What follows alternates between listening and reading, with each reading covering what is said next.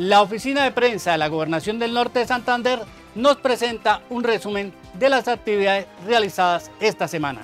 Aquí está nuestra colega Pilar Velázquez.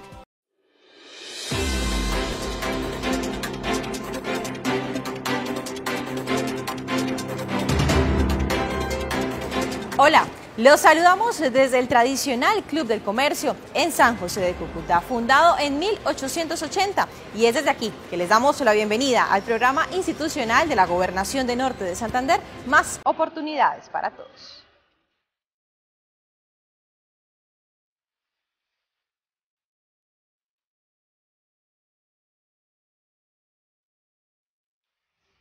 Y esta semana se conmemoró el primer año de la Mesa por la Alianza del Pacto por la Educación de Norte de Santander, uno de los proyectos bandera de la Administración Departamental.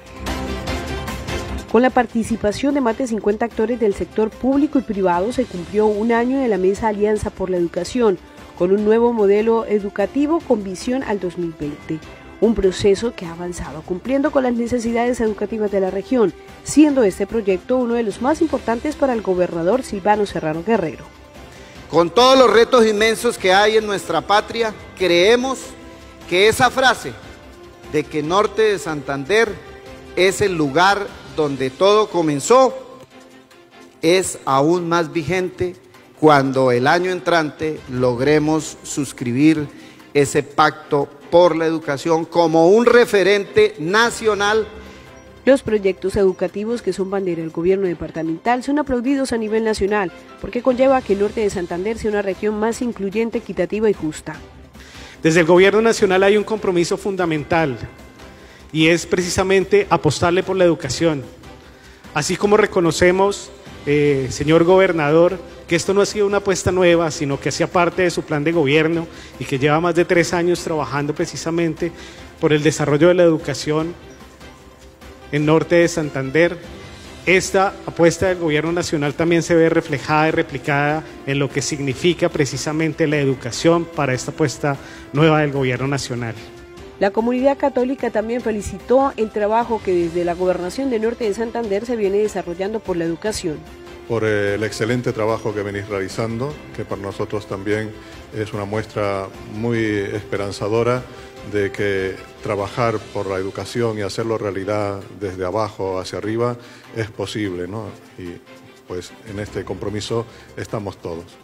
En esta alianza trabajan todo un sector educativo, el Instituto Colombiano de Bienestar Familiar, el SENA, la Alcaldía de Cúcuta, asociaciones de municipios, medios de comunicación, cooperación internacional, sectores ambientales, social, cultural, productivo y político.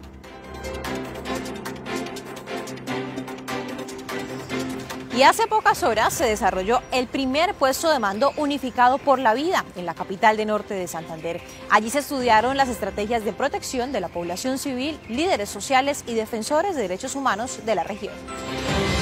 Con el acompañamiento de los defensores de derechos humanos, líderes sociales y sociedad civil, se adelantó el primer puesto de mando unificado por la vida en norte de Santander.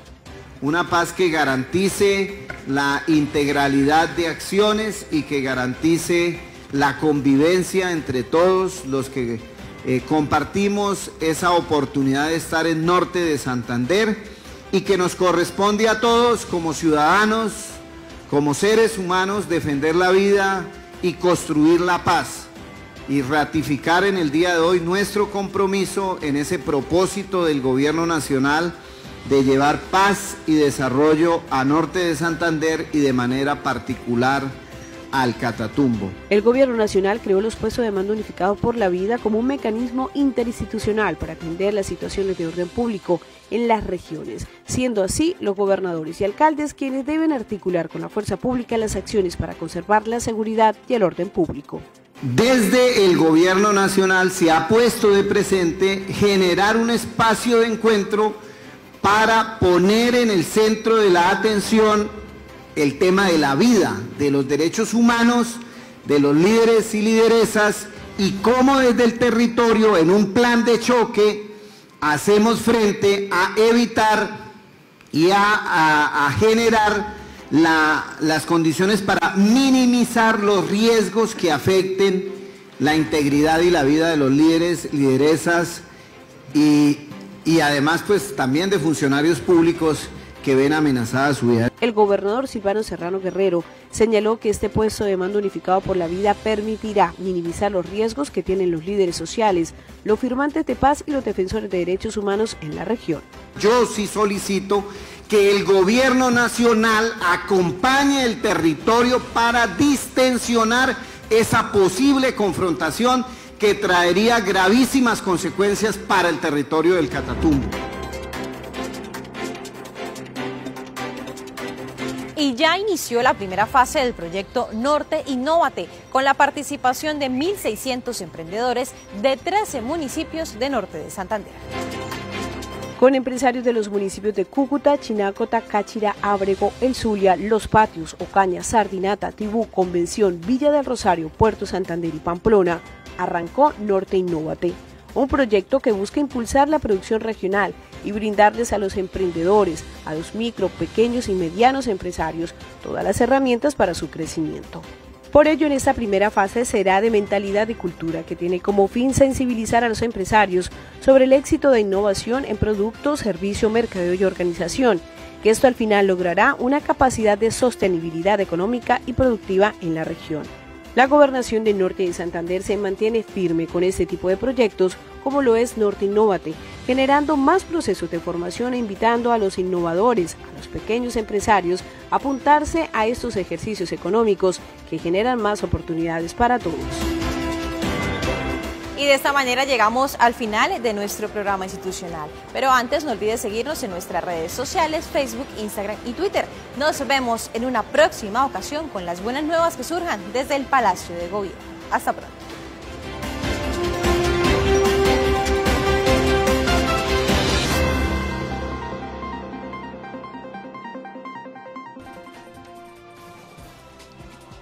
Muy bien, ahí veíamos ese balance entregado por la gobernación del norte de Santander. Queremos agradecer a los medios de comunicación que comparten esta información, a Villa Noticias Plus, a De Todo Un Poco y a nuestra alianza informativa. Igualmente a nuestro máster Steven Leonardo Vega Palacios, que está al frente de los controles de nuestros medios de comunicación. Mi nombre es Gustavo Vega Macías y los invito para que continúen en la sintonía del canal Metro Televisión, 30 años sirviéndole a la comunidad del área metropolitana y la zona de frontera. Hasta pronto.